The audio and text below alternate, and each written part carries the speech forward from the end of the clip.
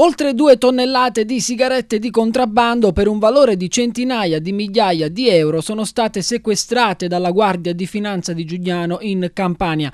È avvenuto a Casavatore, precisamente in un deposito di circa 200 metri quadri. Cinque persone tra 33 e 48 anni sono state arrestate perché sorprese mentre caricavano le bionde a bordo di tre furgoni ed un autocarro per avviare la distribuzione sul territorio.